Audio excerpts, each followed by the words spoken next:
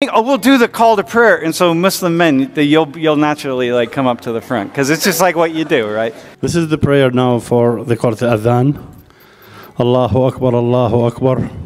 أشهد أن لا إله إلا الله أشهد أن محمدا رسول الله حي على الصلاة حي على الفلاح الله أكبر لا إله إلا الله Hi guys, so welcome back. Thank you so much for clicking. Hope you guys are doing great. My name is Bukunmi BK Crown. So this lecture I introduce introduces to non-Muslims on how to pray for Muslims. So let's watch. You know, a lecturer in America introduced how to pray to hundreds of students. Hmm.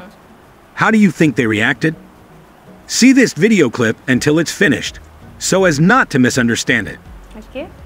A unique scene occurred at one of the leading universities in the United States, namely at Penn State University, where there was a lecturer named Dr. Sam Richards telling his experience of visiting a mosque in Turkey and felt how extraordinary it was to pray for the first time as a non-Muslim.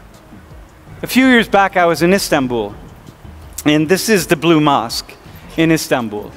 And I stayed in a hotel right across from the Blue Mosque. And you know, you imagine the call of prayer coming from the Blue Mosque. Yes, yes. I, it, I'm just constantly being drawn outside. It's the most beautiful. It's one of the, really the most beautiful structures I've ever seen. So this is what it's like when the mosque when it's full on the inside. It's a massive structure, beautiful structure, and see how people are lined up in this way. Wow. Okay. It's so beautiful. So I and go to the next guys. slide. When I went into the to the mosque in the middle of the day, I just I took my shoes off and I went out into the and walked around to look at it. And at some point in time, I was drawn to sit down in a meditative posture, and I sat down against one of the pillars. Really going into this beautiful space and not knowing because I sort of lost pulled myself out of my mind a little, not realizing that people were starting to line up. So you think back to that other, that other uh, photo of people lining up, right? And and so as I'm sitting there, I suddenly op- I feel something, and I open my eyes, and there's a couple guys calling me up because you got to fill in the spaces. So what happened was, I realized, oh shit, I'm about to pray Yeah. for the first time in a mosque. Wow. And then it was like, oh, cool. This is going to be really cool because I'm called up. Now I got to stand up, and, I, and, the, and no one knows I'm not Muslim, right?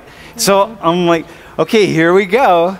And I'm just standing, and I just am looking out. I'm trying not. I'm trying to be unobtrusive. And what happened then was that, to facilitate his explanation of how Muslims pray, Richards then called several of his students to model the correct prayer movements. And this incident was witnessed by hundreds of other students. So, but here's what I want to do. I want to. Are there, are there? I need a couple Muslim, a couple more Muslim men who could come up and do, who, who we could do the prayer with Bassam. So listen.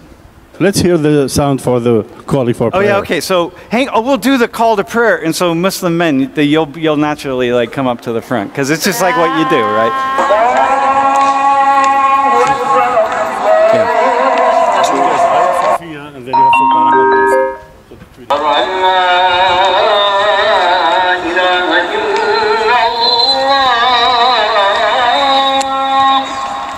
What's he saying? I swear there is only God, one God, and there is no other God. Which is the Christian God and the Jewish God, by the way. Remember, there's only one. It's the same one. Who do we have? Seriously, bro, you, you, it's gotta be you, man. Come on, dog. Who else? And now I need, I need someone. I need a Christian. I need someone who's a Chris, a man who's a Christian.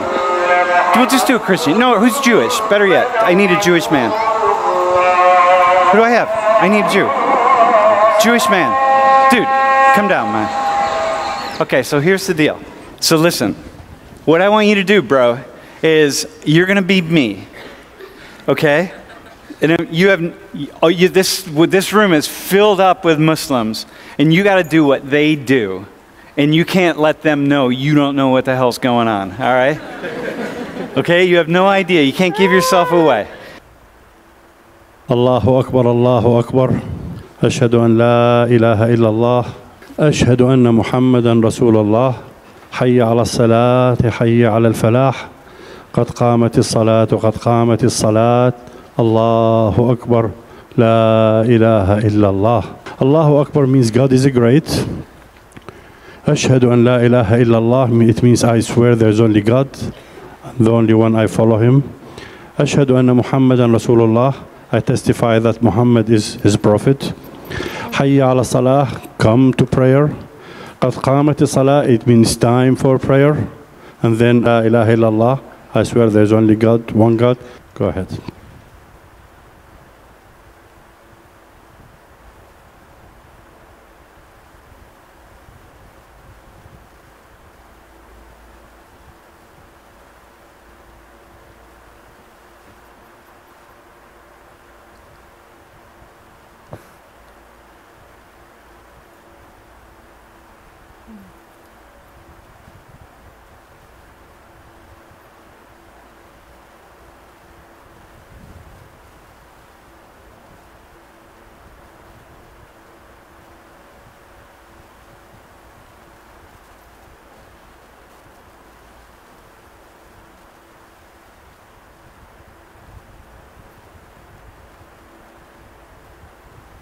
Dude, nice. Nice. They did well. you killed it.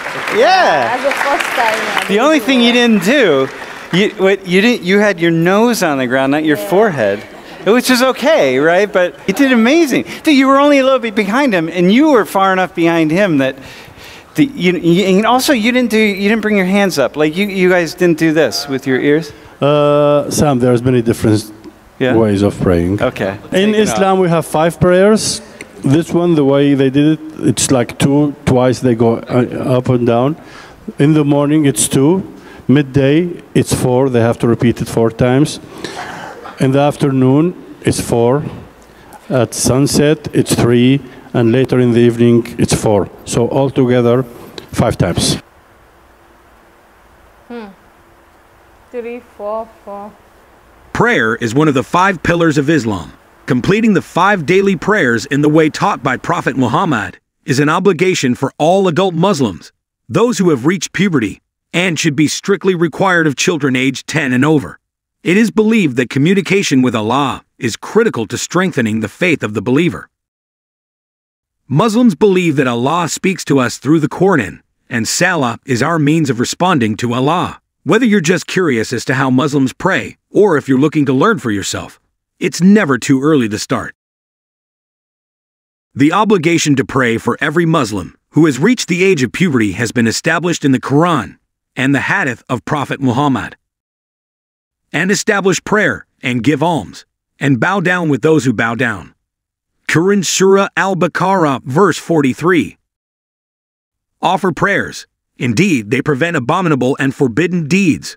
Quran Surah Al Ankabut, verse 45.